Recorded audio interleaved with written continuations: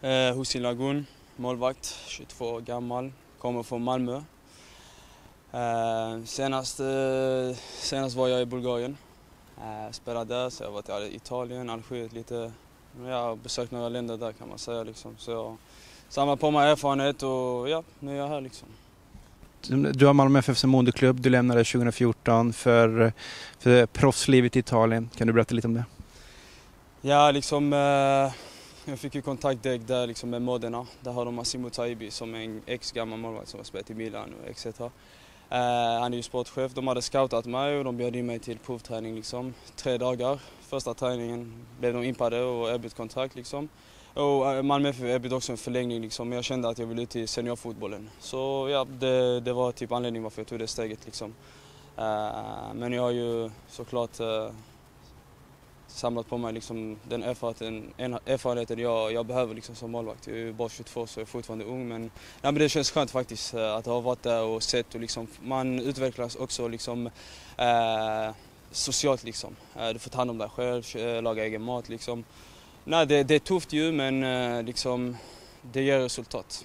Nej, liksom, eh, här i AFC liksom, så är det många liksom, eh, inte svenska spelare. Liksom. Eh, så det är nästan liksom som utomlands. Det jag kan ta med mig liksom, det är liksom att det gäller att vara på tårna och liksom, sprida liksom, den där energin att liksom, du kan ju inte, alltså du minimerar misstagen. För är du utomlands så kör, alltså, blir det misstag där det finns inte en andra chans liksom. För det är liksom, går du utomlands så blir du en investering liksom. Så det gäller att ja, vara på tårna. Uh, samtidigt liksom så så tror jag ändå liksom att vi spelar ändå en fotboll som, som inte finns här i Sverige. Det är också en av anledningarna till att jag ville komma hit. Liksom. Men alltså, det är inget att hymla om att du har haft eh, anbud från andra klubbar. Så här. Hur kommer det sig att du blev AFC? Nej, det är just det. Liksom, jag har varit här och bekantat mig med klubben. Uh, jag har bara hört gott om klubben. Liksom. Hört att det är en familj. Och, liksom, jag är liksom i den perioden där jag vill hitta en klubb där jag liksom kan utvecklas. Jag kan utvecklas och uh, Ja men det föll på det liksom. Sen var jag här liksom och grabbarna är jättesköna och det är alltså, proffsigt på och utanför eh, planen liksom.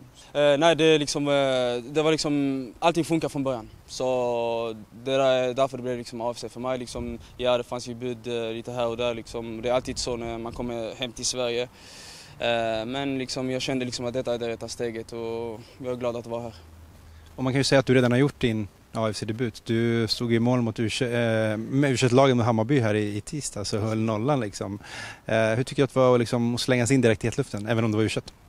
Där liksom jag, jag var liksom börjat förbereda redan på det liksom. Uh, och jag ville ändå liksom få in en match. Uh, även om det är U21 och vi mötte ett mycket bra lag liksom vi spelade också. Och jag tycker vi borde vunnit den matchen. Men jag höll nollan liksom.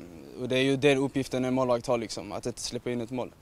Så nej, nej, helt, eh, helt, helt okej insats i alla fall. Eh, två frilägen, lite lugn match annars. Men det är bra för laget och bra för mig, liksom, självförtroendet. Det kan man ta med sig. Liksom. Men till sist då, Eskilstuna som stad och så här, hunnit bekanta någonting? Eh, inte mycket faktiskt. Eh, jag har googlat lite restauranger hit och dit. Eh, men nu är liksom... Eh, nu när, vi, serien drar igång liksom, finns det inte heller mycket till. Liksom, det är fokus på fotbollen. Och, men det blir liksom att gå ut med lagkamraterna och kolla liksom, vad som finns här. Liksom ja, det är det. Då hälsar välkommen igen. Tack så jättemycket.